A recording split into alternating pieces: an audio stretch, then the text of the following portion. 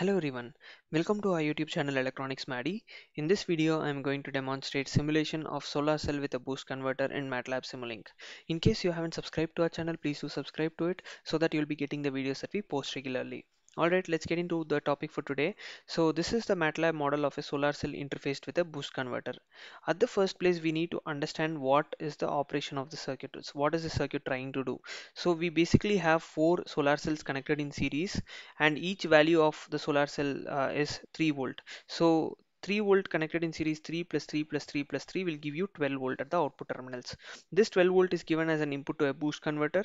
As we know boost converter basically increases the DC voltage to a higher value. So 12 volt is increased to 60 volt. The circuit is designed such that we will be getting 60, out, 60 volt at the output. So you have this boost converter in closed loop mode. This is the closed loop operation that is taking place. So I have already made three videos. One with respect to generating 12 volt only with respect to this particular portion of the module. I have already done one video. And um, two videos with respect to boost converter one with respect to open loop mode and one with respect to closed loop mode. In open loop mode i have explained you how the design of the components and how to select inductor capacitor resistor values and all those things. In closed loop mode i have explained both the operation of the boost converter along with the closed loop uh, path that is there. So watch those three videos at the first place before starting off with this video because those three videos will give you a clearer picture on how to analyze them and this will be a very simple uh, com combination of all the three videos put together. However with respect to this video I'll be continuing from this section. Uh, as we've got 12 volt here I'll be building this circuit and I'll be demonstrating what is happening with respect to this circuit and we'll be checking the output voltage. So let's go to MATLAB and start our simulation. So here we are in MATLAB uh, Simulink. So at the first place ensure that you have a powergui block. So search for powergui and add this block to the model. And uh, that is basically the compiler for uh, the system with respect to power electronic applications. So once that is done uh, our next step is to add the blocks with respect to the boost converter. We need a controlled voltage source. So search for controlled voltage source and uh, you will be adding this block. So be very careful while adding this block because there are other control voltage source over here over here. Don't choose the ones that are there in blue. Choose the ones that are there in black because now we are interfacing with a power electronic converter circuit. So once that is done we will be requiring a series RLC branch. So search for series RLC and uh, add this block as well once this is also done, we will be requiring a MOSFET switch. So we are not using a thyristor because we need an external commutation circuit in order to turn them off. But in case of rectifiers and all those things, we'll use it because it turns off automatically because of natural commutation. So I'll be adding MOSFET and once that is done, I'll be requiring a diode. So search for diode and um, add that block as well. Choose the ones that are there in black now because this is used for power electronic application. And uh, once this is also added, we'll be requiring a capacitor capacitor. So so basically we don't have to search for capacitor. The series RLC branch can directly be converted to capacitor and resistor respectively. So uh, we'll be searching for our next component which is basically a scope which is used to see the output waveform. So search for scope and add this block as well. We need an voltage measurement block in order to measure the output voltage. So search for voltage measurement and add this block as well now in the feedback path for establishing closed loop uh, system, we need a constant block, which is basically a reference value that we enter here. Add this block as well once this is also done we will be requiring uh, some block where it compares both the values. So you will be using a sum block. So search for sum. There is a, an operation called as subtract that is available. So we'll be subtracting the reference value with the actual value. The error signal will be given to a PID controller. So search for uh, PID you will be getting it right at the top. So search for PID and it is available. Choose the ones with respect to s domain that is Laplace transform domain add that block as well. Once this is also added the output will be given to a PWM generator. So search for PWM generator and you'll be getting it. Uh, so be very careful while choosing PWM generator because there are a lot of PWM generator that are available. So choose PWM generator DC to DC PWM generator. This is the subscript. With respect to this we have to choose. So once these are all added let us place them in appropriate positions so that we can get started with respect to our circuit diagram. I'll be placing the voltage source at this position and scope at this point. Diode in this position MOSFET over here and in inductor uh, is required at the source terminals. So at the first place we will be using a controlled voltage source because with respect to the solar module interface we need to use it. Uh, you're not using a normal DC voltage source because we cannot extend the circuit if you're using a normal DC voltage source we need a connection point between the previous circuit and this circuit isn't it? As a result we'll be going for this. The signal terminal over here this S stands for signal. So take the tapping from the signal terminal and connect it to this point. This is where you'll be getting the signal from the previous circuit that is 12 volt. And I'll be giving the positive at this point and negative in this particular fashion. So before that double click on this choose the value of inductor to be equal to 60 micro according to our design. So design procedure and all those things is explained in open loop simulation so of boost converter. So watch that video that will be really helpful for you to understand the process. Rotate the MOSFET double click on this and disable the measurement port. We're not using that. So double click on the measurement port with respect to diode as well.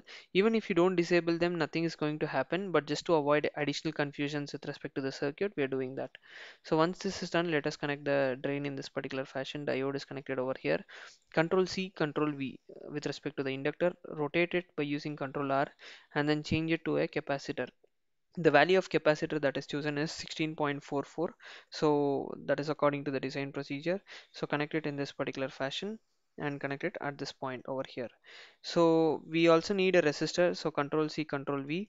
Double click on this and uh, connect a resistor with a value of 16.22 according to our design. So once this is done connect it between these two points over here in this particular fashion so we'll be measuring the voltage across the output terminals over here. So connect it at this point and um, I'll be zooming out a little bit and I'll be connecting the scope over here. Now what we'll be doing in the closed loop path is that we will be taking the tapping from this particular point over here and I'll be giving it to over here uh, this is the voltage that we are getting at the output terminals. So connect it at this point. So you can directly take the tapping from this point and you'll be connecting it this position. I'll be giving the constant block over here. So double click on this and change the value to be equal to 60 so whatever voltage that you want should be entered over here at the output terminals. So enter that. That will be compared with the standard reference value and I'll be giving it to a PID controller. So the error signal is given to a PID controller double click on the PID controller and we have to select the values. So there are various design procedures that you can follow. Trial and error method iterative method where you can design the PID controller uh, for each iterations or you can go with Laplace transform approach which is given by these type of equations. So I have uh, selected a value such that uh, it reduces a certain portion of the waveform with respect to the error signal that we have. So in case you want to, to improve the transient response or the steady state behavior of the system or the peak overshoot or the settling time you can suit uh, you can suitably choose the value of the PID values and you can click on OK. I've chosen integral value to be equal to 7 and click on OK I'll be giving it to a PWM generator block. And this will be given to a gate block. So this will basically generate the pulses according to the deviations in the supply or the load terminals and consequently it will maintain our output voltage of 60 volt. So in case you want um, in practical applications in case you want 60 volt a DC supply and uh, you're using a solar uh, module uh, or a solar cell you call that. So you have to uh, get 60 volt. You're generating only 12 volt using a solar module if suppose. So in case you want to generate 60 volt only with the solar module the cost of the solar cell goes on increasing. So instead of that having a converter which increases the DC voltage that is available is always advantageous isn't it? So as a result these type of circuits are so please make one important uh, correction with respect to this circuit. Give the positive uh, polarity of the compare the sum subtract block over here to the constant block. Take the negative tapping from this point. This is because if uh, you get a voltage of about 59 at the output terminal and you compare it with 60 volt, positive value of the output voltage is more dominant and consequently it produces an output voltage corresponding to it. And that is why we need uh, the constant block at the positive terminal. Otherwise there will be uh, a deviation with respect to the output voltage that you have to get. Now let us click on run and uh, wait for the simulation to take place.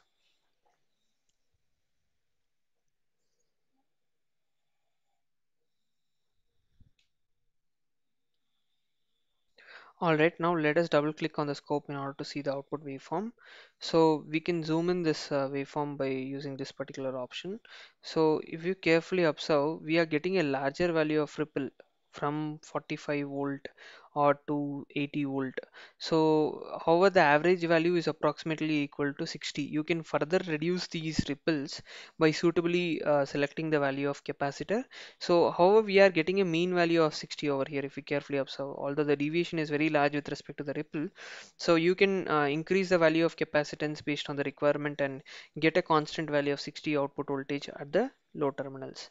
So this is how you'll be interfacing a boost converter with a solar cell. You can try it for different conf configurations as well. So by having a buck converter, Cuk converter or a flyback converter and a lot of other configurations. So there are videos uh, with respect to individual converters as well. You can watch them to get a clear picture to interface them as well. So if you like this video, please do like it, share it and subscribe to our channel for regular updates. Please do keep supporting. Thanks for watching this video.